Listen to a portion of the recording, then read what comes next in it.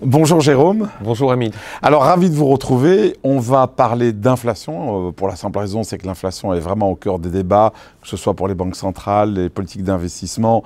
Euh, c'est aussi le sujet des discussions de tous les investisseurs. Alors il y a un lien entre cette inflation et la politique chinoise de zéro Covid. Mais avant d'aller plus loin, expliquez-nous de quoi s'agit-il de cette politique de zéro Covid. Alors que le monde occidental euh, s'en sort plus ou moins euh, avec le vaccin et puis aussi a appris à vivre avec euh, certaines infections du Covid. En Chine, le choix est fait de euh, restreindre la propagation du virus par un confinement total. Et donc il y a certaines provinces, certaines villes qui sont complètement confinées pour empêcher la propagation du virus. Et donc ça, ça a un impact sur cette politique. Alors j'imagine que quand en Chine on confine une ville, on ne parle pas d'une ville de 500 000 habitants, c'est tout de suite 10, 15, 20 millions. Et ça, ça a un impact sur l'inflation pour la simple raison, c'est que la Chine reste l'atelier du monde.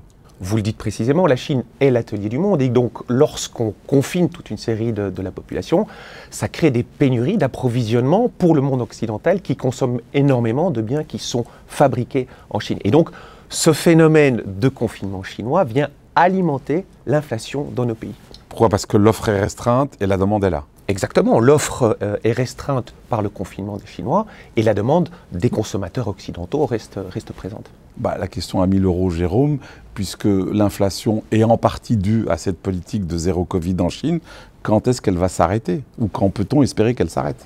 Beaucoup va bien sûr dépendre de l'évolution de la maladie en Chine. On voit que certains cas commencent à baisser, et ça c'est encourageant. Mais cette politique du zéro Covid, elle ne va pas s'arrêter tant qu'on n'a pas eu le comité plénier chinois qui aura lieu au mois de euh, ou novembre. On n'a pas de date précise comité plénier du Parti communiste chinois. Et avant ça, si vous voulez, les autorités ne peuvent pas perdre la face. Euh, si jamais elle lâchait cette politique avant le comité plénier et que le, virus se propageait, euh, ça ne serait pas du tout bon pour les autorités. Donc au moins jusque-là, la politique va durer. Donc on est parti jusqu'à l'automne, malheureusement. Alors, euh, je vous écoute souvent, bah forcément, dans, dans, le cadre de, ces interviews qu'on fait ensemble, et vous m'avez toujours expliqué qu'une des manières de lutter contre l'inflation, bah, c'est ce que font les banques centrales, c'est d'augmenter leur taux d'intérêt. Mais là, je ne vois vraiment pas, dans, à partir du moment où une marchandise, elle est bloquée sur un port à Shanghai ou je ne sais où, une palette ne part pas, en quoi la hausse des taux d'intérêt va faire en sorte que cette palette va partir plus tôt?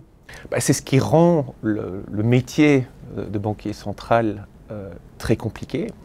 Effectivement, arrêter les pénuries, les banques centrales ne peuvent rien y faire.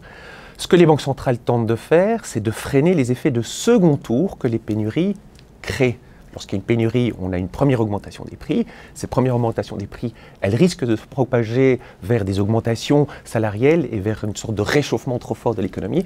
Et c'est en freinant ça que les banques centrales peuvent intervenir en faisant augmenter les taux d'intérêt. Mais c'est un, métier très compliqué et qui est aujourd'hui rendu beaucoup plus difficile par ce nouveau réassertement de la politique zéro Covid en Chine.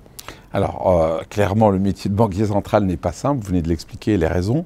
Euh, bah, j'imagine que votre métier n'est pas plus simple non plus. Sachant tout ça, comment est-ce qu'on fait une politique d'investissement pour un portefeuille type? J'imagine que vous avez dû réadapter euh, l'allocation de ce portefeuille. C'est vrai que cette inflation qui dure, c'est un phénomène qui est préoccupant pour les marchés financiers, pour la consommation en, général. Ça nous a rendu encore récemment encore plus prudents. Donc on a de nouveau abaissé le poids des actifs risqués euh, dans les portefeuilles. Euh, maintenant, il y a une bonne partie de l'éventuel impact sur les bénéfices des entreprises qui a été anticipé par les bourses, donc il faut attention de ne pas être trop négatif au mauvais moment, acter le fait que cette inflation dure, changer une partie des allocations. À long terme, la bourse a déjà en partie anticipé cette chose-là. Et puis il y a aussi le cycle de l'investissement qui reste présent pour les entreprises, qui crée des opportunités et qui n'est pas encore affecté ou qui n'est pas affecté par ce phénomène euh, inflationniste. Et ça, c'est une chose positive pour les bourses. Donc en résumé, prudence, mais une prudence modérée dans le sens où les entreprises cotées restent malgré tout résilientes. Bien sûr. Merci Jérôme. Merci à vous.